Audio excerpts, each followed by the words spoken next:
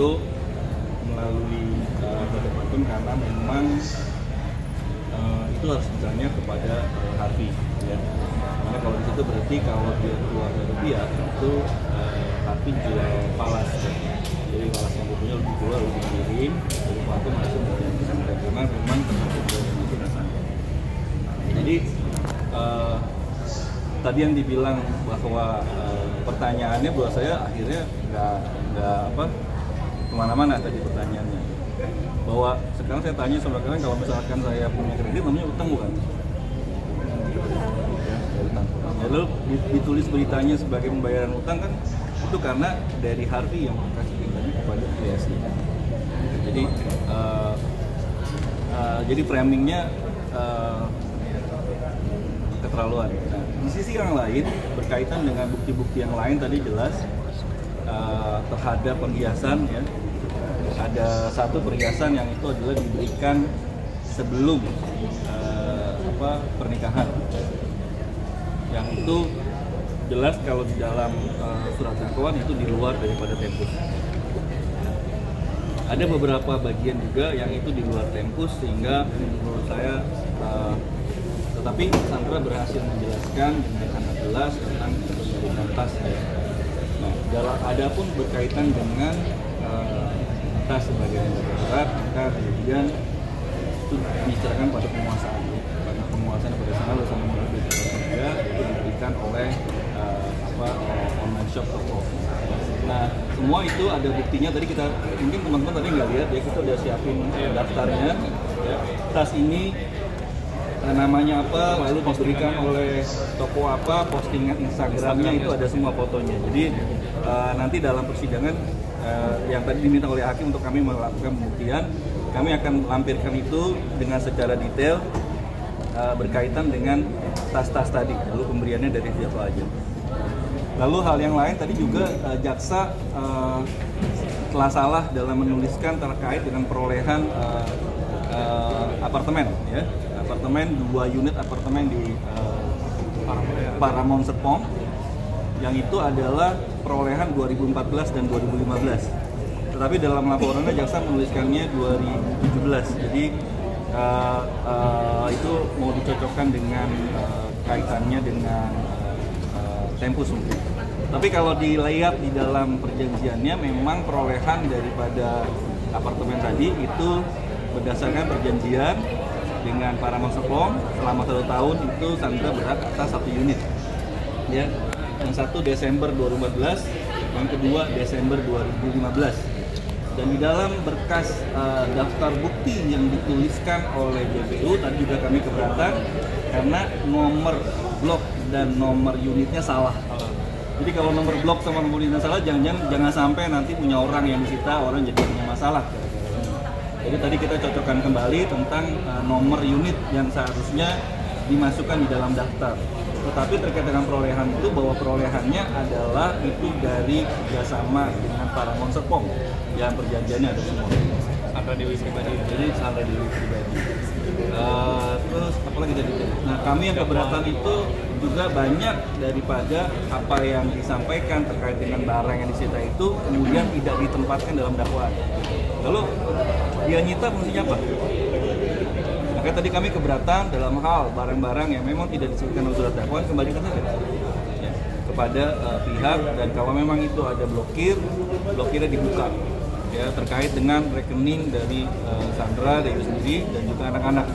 Memang tadi disampaikan bahwa itu oleh uh, uh, Niaga yang memang itu dari semenjak anaknya Masih dalam dalam kandungan terus lahir dan mereka bertiga menjadi brand ambassador dari Presiden Niaga selama kurang lebih 8 tahun.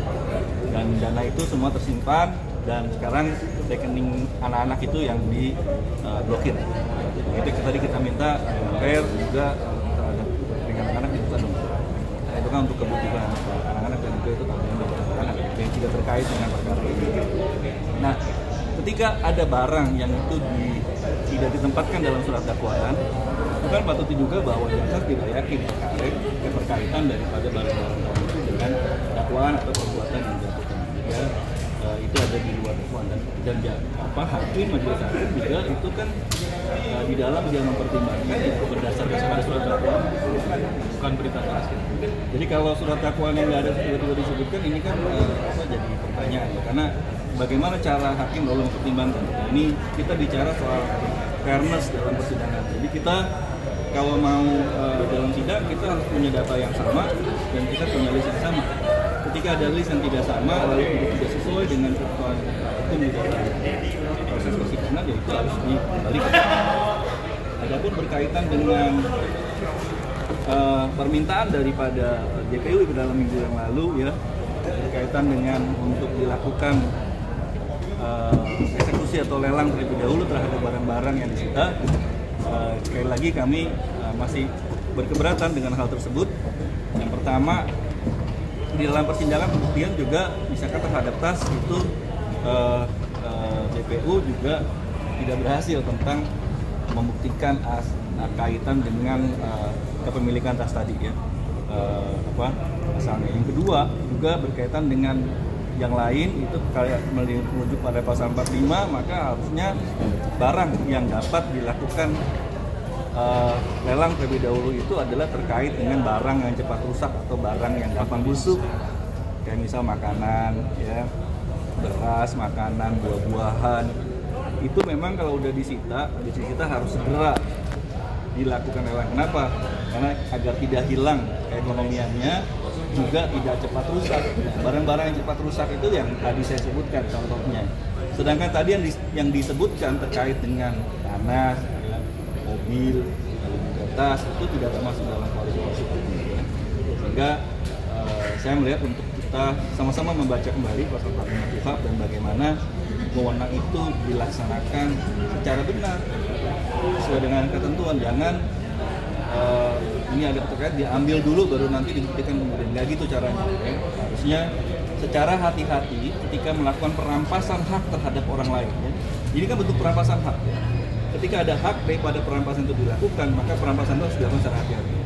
Ketika perampasan hak orang lain dilakukan secara serampangan nah ini yang namanya adalah penerapan draconian law measures hal yang harus dilarang di dalam penegakan hukum adalah melakukan draconian ya. Wewenang-wewenang dan itu nggak boleh dilakukan. Nah tadi juga terkait dengan eh, satu Suparta misalnya itu ada tanah yang ternyata milik taman tapi tetap juga.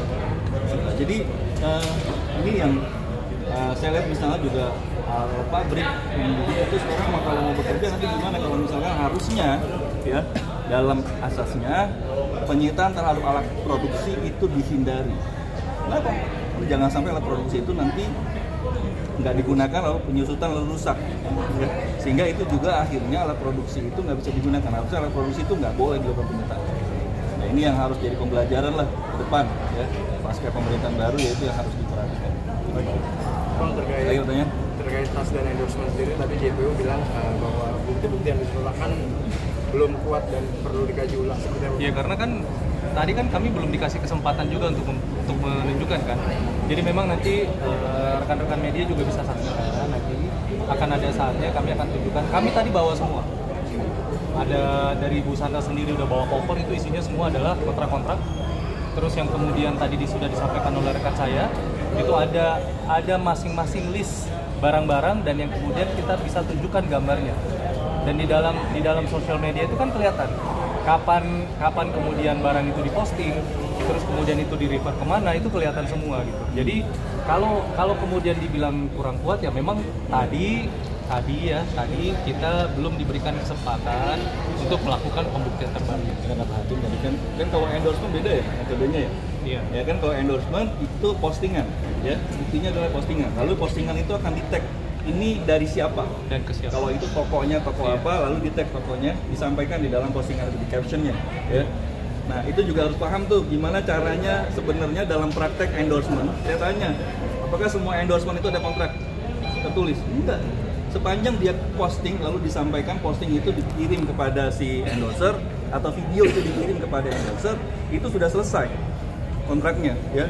Jadi perlu paham juga bagaimana antara perbedaan sebagai brand ambassador sebagai endorsement. Jadi perjanjian endorsement dengan perjanjian brand ambassador itu dua hal yang berbeda ya di dalam sosial media yang satu eh, digital ya, digital promotion, yang satu itu adalah promosi secara offline ya. Jadi ya teman-teman mestinya kasih tahu dong gimana caranya itu ya bedanya antara digital ya promotion yang itu ada endorsementnya dengan yang itu brand ambassador yang itu ada kontraknya. Ya. terkait dengan Paramount itu juga itu jelas ada kontraknya. Karena itu ada item-itemnya ada semua. Jadi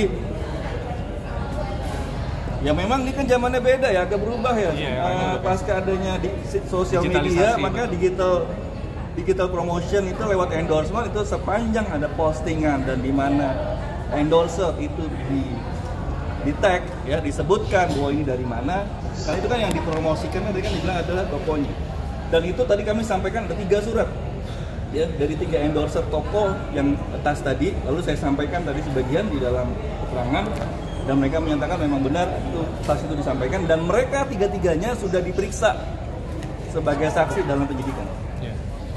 tapi nggak dihadirkan. Kenapa kalau kenapa nggak dihadirkan?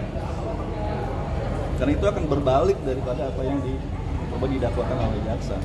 Kalau dihadirkan jadi berbalik. Oke. Ya, Oke, oke. terima kasih.